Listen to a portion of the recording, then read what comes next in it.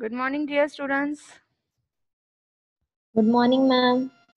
Before starting Good with morning, our uh, new topic, we'll just check out like what kind of questions has been asked on decision tree because uh, some of the student have uh, asked me like what kind of question is going to be asked on decision tree. So I, I have just opened the unit instead of unit wise question. I am just starting your question paper of end sem, final end sem. So two end sem have been there we will check out what kind of question on unit 4 has been asked.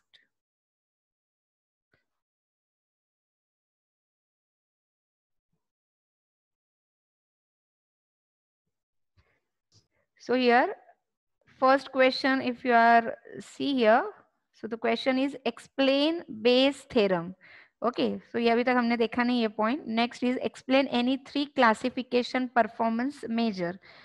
So here you can explain the classification performance measure like entropy, information gain, Gini index, or like precision, recall. So these are the different measures which can be used for finding the performance of classification. So just go with your accuracy, precision and recall. The next is what is class classification? List the different classifiers.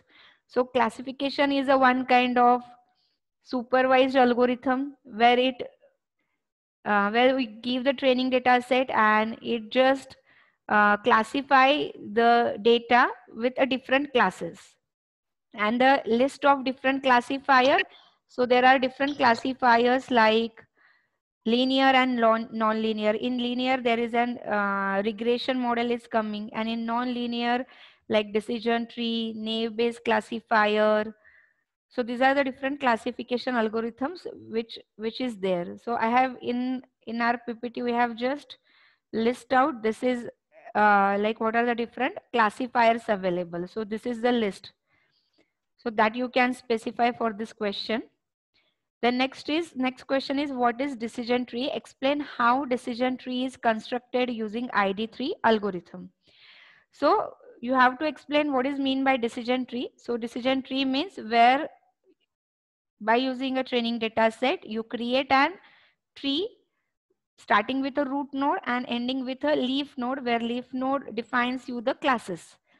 So that you have to explain what is mean by decision tree and then next is explain how decision tree is constructed. So yesterday i explained you the different steps where we use the entropy and information gain measures and the attribute having the maximum information gain we put it at the root. And likewise we make a tree. And at every every node we uh, make a branches. So branches are depend on what are the different inputs are available for that attribute. For that The next is explain the following conditional probability and posterior probability. Okay, ये जब हम naive Bayes classifier देखेंगे इस unit का अगला point, then you you will find out the answer for this question.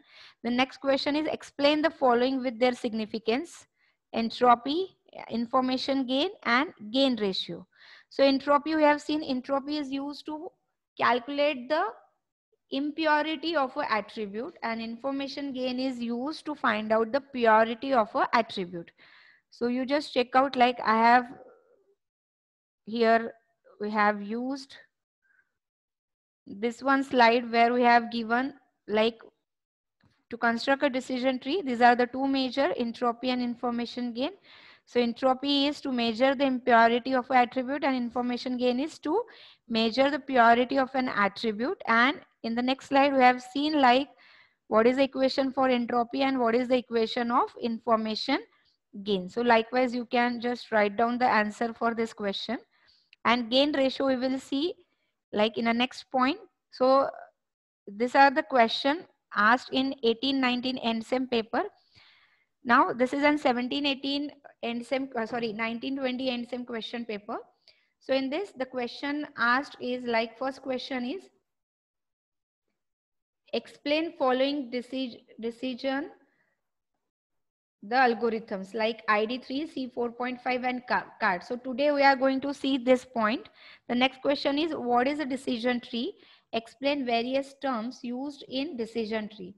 So decision tree already kya hota hai? Hum logon dekha various terms used in decision tree is like this. So you have to just draw this tree and uh, like you have to specify like first is a root, then internal node, then branches, then leaf node, and you have to explain this each and every term.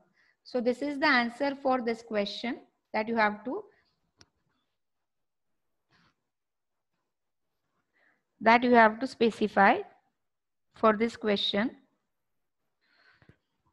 Then next question is explain bagging boosting and random forest जो हम अभी next lecture में check करेंगे next point में। So I hope you understood like for decision tree there is no question like to construct a decision tree actual कोई example देके construct करने के लिए नहीं बोलता है but they just ask you what are the different steps use to construct a decision tree तो आपको ये प्रॉपर समझने के लिए मैंने यहाँ पे पूरा एक एग्ज़ाम्पल आपको कल दिखाया था और एंट्रोपी कैसे कैलकुलेट करते हैं हर एक चीज़ हम लोगों ने वहाँ पे देखा था। Any question from your side students you understood the question asked only on a decision tree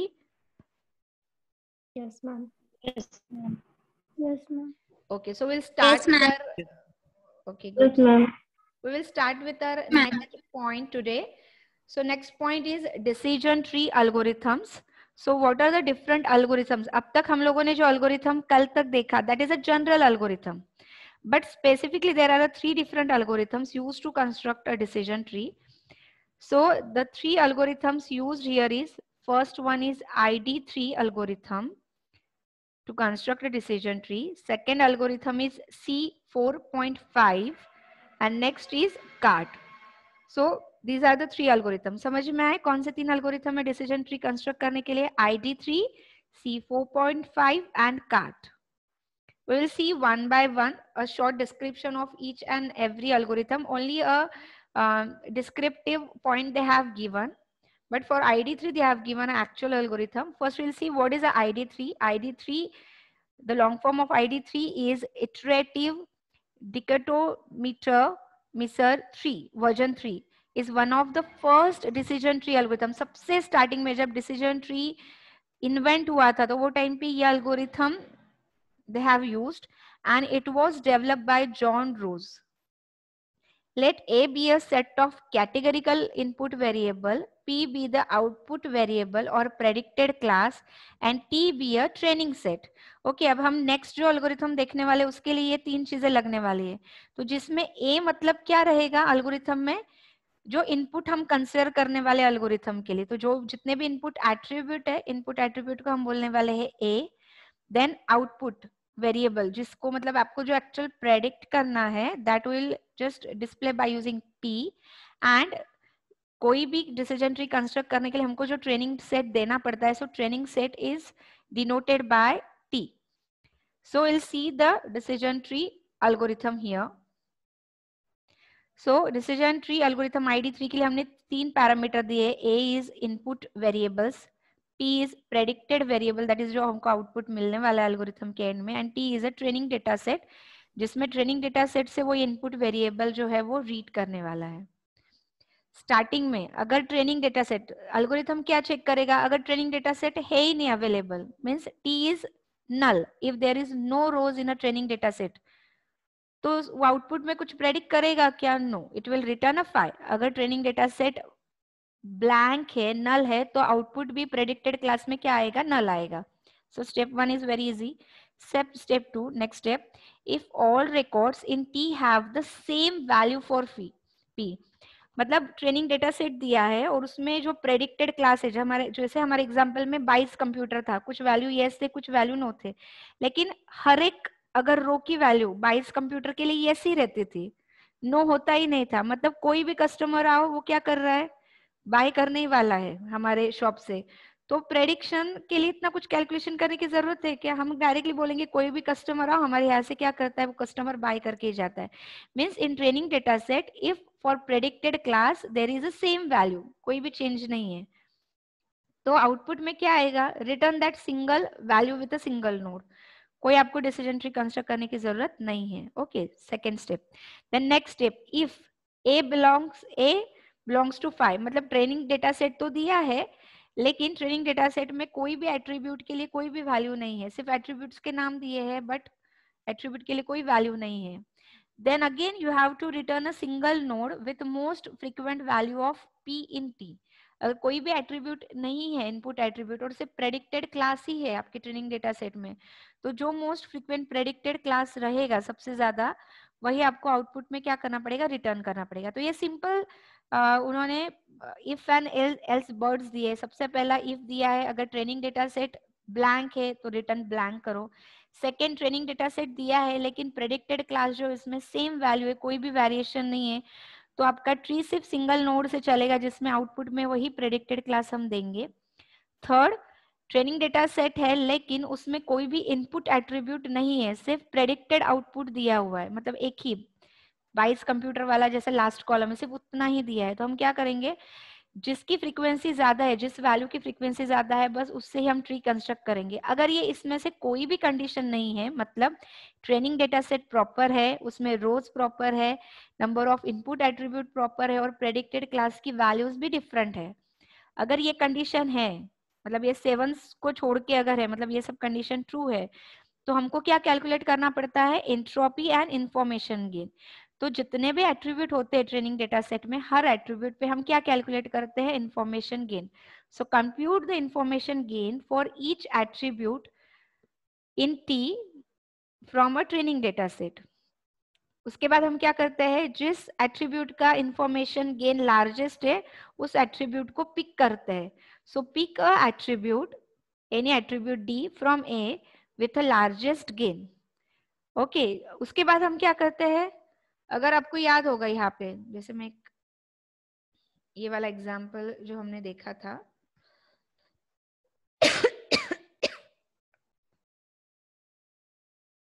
so so, हमने सबसे स्टेप क्या की थी? सब एट्रीब्यूट का इन्फॉर्मेशन गेन निकाल लिया था। हाईएस्ट एट्रीब्यूट हमने लिखा था और उस एट्रीब्यूट के बाद ट्री को कितने पार्ट में डिवाइड किया था? जितने डिफरेंट वैल्यूज़ अवेलेबल है उस एट्रीब्यूट के लिए। अगर ये वैल्यू में थ्री डिफरेंट एट्रीब्यूट है तो ये ट्री कितने पार्ट में डिवाइड हो रहा है? It is dividing in three parts तो वही चीज़ हमने अलगोरिथम में उन्होंने यहाँ पे बताया हुआ है।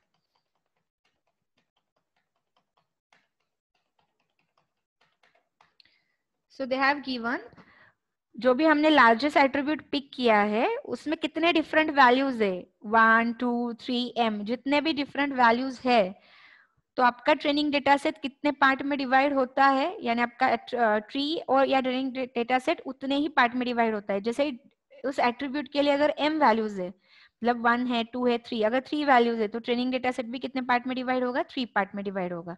और आपका डिसीज़न ट्री भी कितने पार्ट में डिवाइड होगा? थ्री पार्ट में डिवाइड किया जाएगा। And then what you have to do? Again for every subtree. Again for every subtree you have to calculate. Again you have to find out a next branch. So return a tree with a root d and branches labeled d1 d2 dm going respectively to different subtrees. Ad a A मतलब आपके total attribute में से अभी वो attribute जो है निकाल दो। मतलब अगर हमारे पास चार एट्रीब्यूट थे तो उसमें से पहला एट्रीब्यूट जो हमने रूट पे ले लिया, उसको निकाल दो। तो बचे हुए तीन एट्रीब्यूट को लेके हमको अगला ट्री जो रहेगा सब ट्री वो ड्रॉ करना पड़ेगा। So that is A minus D comma P means predicted class and training data set जैसे हमने ट्रेनिंग डेटा सेट के अगर एम पार्ट डिवाइड किए तो सबसे पहले हमने टी वन ये एक सब ट्री के लिए दे दिया टी टू अलग सब ट्री के लिए दे दिया and TM next sub tree के लिए दिया है so this is an ID3 algorithm जो काफ़ी बार पूछते हैं so you have to write down this ID3 algorithm and you can explain it then next algorithm second algorithm is a C4.5 algorithm so C4.5 algorithm introduces a number of improvements over the original ID3 algorithm so whatever the drawbacks in ID3 algorithm C4.5 tries to improve all that criterias or all that points, the c4.5 algorithm can handle the missing data. Means id3 algorithm is not able to handle the missing data. अगर आपने जो training data set दिया है algorithm के लिए, उस training data set में कुछ एट्रीब्यूट्स के लिए कुछ वैल्यूज़ अवेलेबल नहीं है नल वैल्यूज़ है तो डिसीज़न ट्री प्रॉपर कंस्ट्रक्ट नहीं होता था। तो ये प्रॉब्लम C4.5 ने क्या किया हैंडल किया। If again if the training record contain unknown attribute values the C4.5 evaluates the gain for that attribute by considering only the records where the attribute is defined. यानी अगर कुछ रोज ऐसे है, जिसमें कुछ एट्रीब्यूट के लिए वैल्यूज़ अननोन है, पता ही नहीं है मिसिंग है तो वो उस रिकॉर्ड को छोड़ नहीं देता है उस रिकॉर्ड के लिए क्या वैल्यू हो सकती होगी, क्या प्रेडिक्ट है, वो प्रेडिक्ट करके भी वो वैल्यू कंसिडर करता है then both it is it can be used for both kind of data categorical and continuous id3 जो है ये सिर्फ़ continuous attribute के लिए ही work करता है but c4.5 ये categorical as well as continuous both attribute को support करता है values of a continuous variable are stored and partitioned here for the corresponding records of each partition the gain is calculated जैसे ID three में information gain calculate किया जाता है, इसमें भी गेन कैलकुलेट किया जाता है और whatever the attribute having the gain is use to make a next tree तो अल्गोरिथम ऑलमोस्ट सिमिलर है only what change in the four point five की मिसिंग डेटा है तो उसको वो, उस प्रॉब्लम को ओवरकम करता है और कोई भी टाइप का एट्रीब्यूट रो कंटिन्यूस या कैटेगरिकल दोनों एट्रीब्यूट के लिए क्या करता है? प्रॉपरली वर्क करता है। द आईडी थ्री एल्गोरिथम में construct deep and complex tree which would cause overfitting but the C four point five algorithm addresses the over problem in I D three by using a bottom up technique called pruning to specify the tree by removing the least visited nodes and branches और एक problem था I D three के साथ कि ये बहुत complex और बहुत बड़ा ट्री बहुत बड़ा ट्री अभी हमने ट्रेनिंग डेटा सेट सिर्फ़ चार एट्रीब्यूट के लिए और फोर्टीन रोज के लिए देखा था बट रियल में जब आप वर्क करते हो there are ten thousand one lakh ten lakh rows twenty thirty forty attribute भी होते तो वो ट्री बहुत ज़्यादा कॉम्प्लेक्स और बड़ा हो जाता है अगर हम I D three algorithm use करते हैं, और उसमें ओवरफिटिंग का भी प्रॉब्लम होता है. तो ये दोनों problem C four point five ने कवर किए. तो C4.5 ने क्या क्या प्रॉब्लम कवर की आई डी के? Very first problem it can handle a missing data second it can work on categorical as well as continuous data third it have also solve the overfitting problem and fourth it will it is going to construct a very simple tree with a less depth बहुत बड़ा tree नहीं, बहुत छोटे tree में हमको answer मिल जाता है। So this is a good side of C4.5. After C4.5, the next algorithm come came in the market is a CART algorithm. CART means it is a classification and regression tree. It is often used as a genetic acronym for a decision tree. Although it is a specific implementation, बार अभी latest model है इसके लिए decision tree जब बोला जाता है तो generally cart algorithm ही यूज़ किया जाता है similar to C four point five cart can handle continuous attribute मतलब कार्ड भी continuous as well as categorical दोनों एट्रीब्यूट को ये वर्क करता है. Whereas C four point five uses entropy based criteria to rank the test cart uses a gini diversity index define in equation I D three and C four point five ये दोनों entropy और information gain ये दोनों फॉर्मूले को लेके work करते हैं. लेकिन कार्ट में information gain ke bajay or entropy ke bajay ek simple formula they have used which is called as the Gini index. So the formula for Gini index is 1 minus summation of x belongs to x and probability of x square. अगर आपको याद होगा, उसमें entropy का जो formula था, वो क्या था? Probability of X log to the base two P of X बहुत बड़ा फॉर्मूला था, जिसमें लॉगेरिथम की वैल्यू आपको निकालनी पड़ती थी। इसमें लॉगेरिथम निकाल दिया है।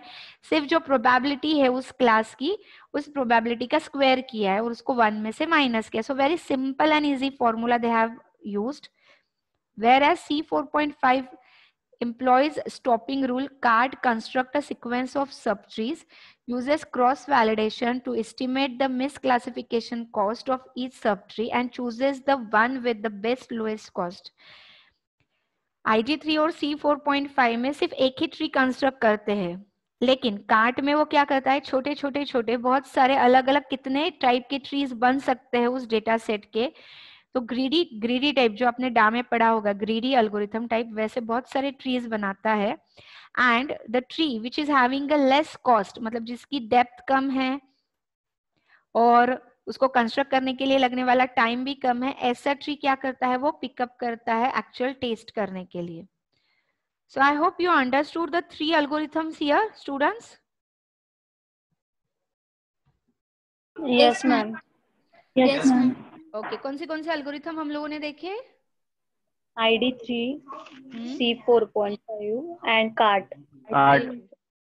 very good uh, so which one is best out of three cart okay okay and it uses the formula called as the Gini index और ID3 और uh, C4.5 ये क्या यूज़ करते हैं कौन सा फॉर्मूला यूज़ करते हैं entropy and information gain.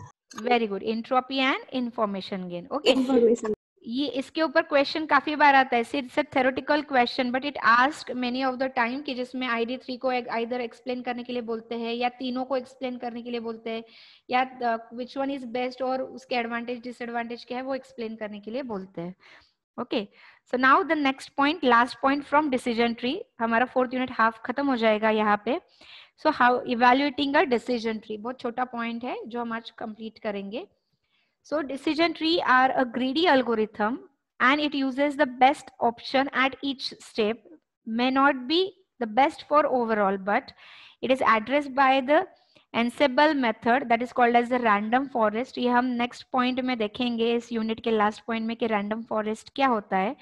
But there is a one problem with the decision tree which is called as the model might overfit the data overfitting मतलब क्या होता है कि हम मॉडल किससे कंस्ट्रक्ट करते हैं? ट्रेनिंग डेटा सेट से कंस्ट्रक्ट करते हैं। बट ट्रेनिंग डेटा सेट बहुत छोटा होता है।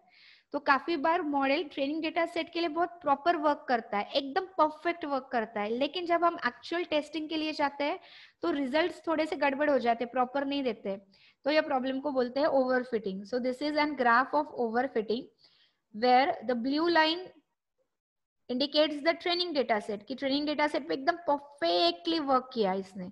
लेकिन सेम अल्गोरिथम या सेम स्ट्रेटजी जब हमने एक्चुअल टेस्ट डेटा पे वर्क किया तो हमको सेम आउटपुट नहीं मिला। काफ़ी बार क्या हुआ आउटपुट थोड़ा सा क्या किया उसने? जस्ट मिसलीड कर दिया। So this is called as the overfitting problem. And to overcome with this overfitting problem we have to stop the growing tree early and grow full tree and then prune. Okay okay, इसका मतलब अगर tree का answer हमको बहुत पहले ही मिल गया ट्रेनिंग डेटा सेट से बहुत छोटा ट्री बन गया। ओके okay, और ट्री को उसने ग्रो करना स्टॉप कर दिया। तो काफ़ी बार ओवरफिटिंग का प्रॉब्लम आता है। तो इसको सॉल्व करने के लिए एक सिंपल सॉल्यूशन उन्होंने दिया है कि पूरा फुल ट्री ड्रॉ करो, जिसमें हर एक एट्रीब्यूट जो है इनपुट डेटा सेट का वो कहीं ना कहीं यूज़ होगा। और उसके बाद चेक करो कि कौन सा सब ट्री का पार्ट है जो ज़्यादा विज़िट नहीं होता है। वो सब ट्री को बाद में प्रूनिंग करते चलो मतलब निकालते चलो। और उसके बाद जो ट्री लास्ट में बचेगा, वो आप ट्री जो है, वो आप एक्चुअल टेस्ट डेटा के लिए यूज़ करोगे तो आपका ओवरफिटिंग का प्रॉब्लम काफ़ी हद तक क्या हो जाएगा? It will get reduce now you can construct a different kind of decision tree also देखो, अब तक हम लोगों ने डिसीज़न ट्री जो देखा था, वो ब्रांचेस में देखा था कि जिसमें रूट में एक नोड होता है, फिर उसके कुछ ब्रांचेस होते हैं depend on the value of the that particular attribute और उसके हिसाब से इधर हम लेफ़्ट में जाते हैं या राइट right में जाते हैं. Again at the left point we consider the second attribute and depend on the value of second attribute either we go at left side और right side so this kind of tree we have seen but apart from this tree इस tree को हम rectangular form में भी construct कर सकते हैं। Okay, अभी एग्ज़ाम्पल हो कि जैसे ए एक लेबल है ए तो ए तक अगर जाना है तो इसके लिए उन्होंने क्या बोला है कि रूट में अगर x की वैल्यू लैमडा वन से ग्रेटर है तो राइट right में जाएँगे। लेफ़्ट में कब जाएँगे? अगर x1 की वैल्यू क्या रहेगी? लेस देन और इक्वल टू लैमडा वन रहेगी तो हम जाएँगे कहाँ पे? लेफ़्ट साइड में। और अगेन उसके लेफ़्ट साइड में यहाँ से वापस ए तक कब जाएँगे? अगर x2 की वैल्यू लैमडा टू से लेस है। ओके okay, अब यही चीज़ को उन्होंने ग्राफ में कैसे दिखाया है? If you see a we have constructed here इस साइड में हम लोगों ने क्या लिखा है? लैमडा वन और यहाँ पे आ गया है लैमडा टू। तो ए कहाँ पे आया है? ए कहाँ पे आया है? ए की वैल्यू कहाँ पे आई है? जब x की वैल्यू मतलब x1 की वैल्यू लैमडा टू से लेस है मतलब नीचे है, और x2 की वैल्यू लैमडा टू से नीचे है, इससे कम है। तो वो पार्ट में हमने किसको ड्रॉ किया है? ए को ड्रॉ किया है। मतलब ए कहाँ पे आ रहा है? When the value of X one less than lambda one and when the value of X two is less than lambda two okay तो सेम चीज़ हमने इसमें कैसे बताई है? एक की वैल्यू कब आएगी? जब x1 की वैल्यू क्या रहेगी? लैमडा वन से लेस रहेगी, और x2 की वैल्यू लैमडा टू से लेस रहेगी। तो यही चीज़ को हमने रेक्टेंगुलर फॉर्म में भी शो किया है। So decision tree either you can form either in the form of tree और you can show it in a rectangular form also तो अलग अलग वेज है डिसीज़न ट्री को शो करने के लिए। Now there are some advantages and disadvantages of using the decision tree classification for prediction purpose.